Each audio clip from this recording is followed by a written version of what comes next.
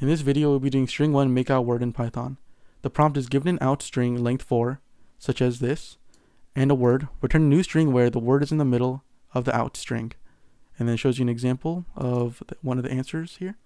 So to do this, we'll be making uh, two variables for the outs, which I'll just be naming this one opening, which will then be open is equal to out bracket, and then colon 2 and then closing bracket, which will then give you the first two characters of the of the out string because it goes 0, 1, and then it's the 2 is excluded.